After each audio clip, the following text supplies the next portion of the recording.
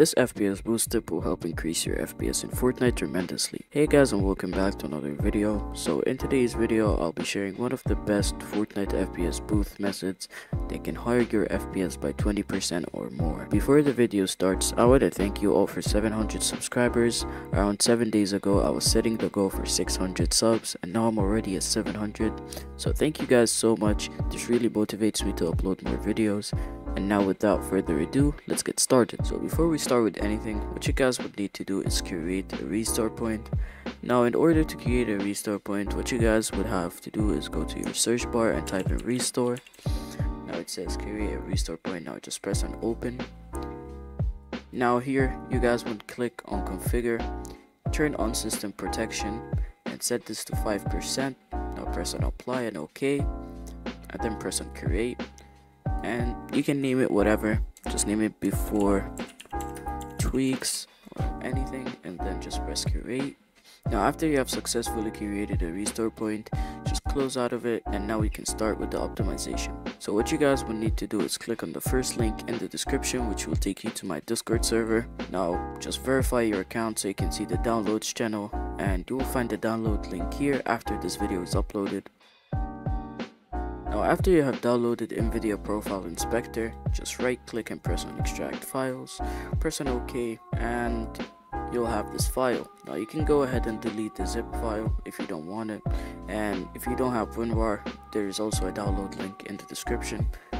Now double click on the file, right click on NVIDIA Profile Inspector.exe with the NVIDIA logo, right click and run as administrator now before we do anything on this page, what you guys will need to do is go to the top and search for Fortnite.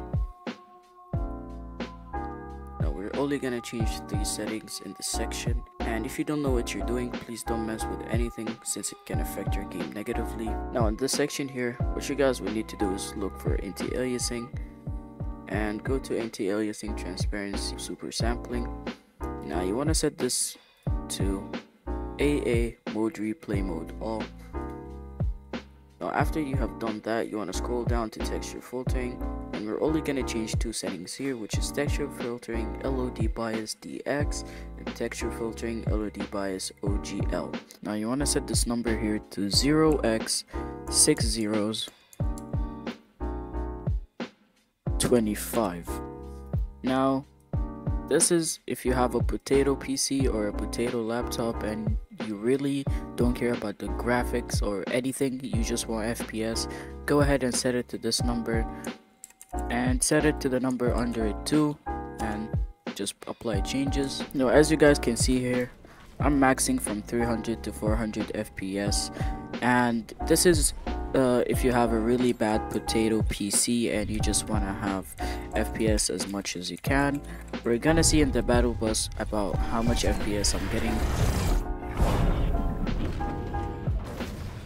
So on the battle bus, I'm maxing around 400 to 500 FPS, but when I look down, it's also from 100 to 200 FPS. But if you're like me and you have a pretty good PC that can run you from 100 to 200 FPS, and you just want a slight FPS boost or you want an actual good FPS boost with not that much bad quality, like balanced, you can set this to instead of 25 just 09 replace the 25 with 09 same goes for the one under it, just press instead of 25, set the number at the end to 09, and then just press apply and exit out of it. Now I hope you guys enjoyed this video. Don't forget to like and subscribe, and I'll see you guys in the next one. Peace out.